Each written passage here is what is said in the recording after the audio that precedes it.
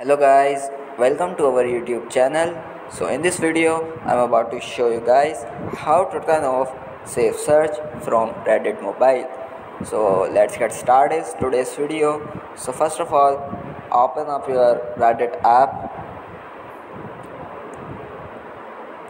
And once the reddit app is open make sure that your account will already log in. So here you can see the uh, your profile option in the top right just tap on it. And now scroll down a bit here you can see the settings option. Just simply tap on it.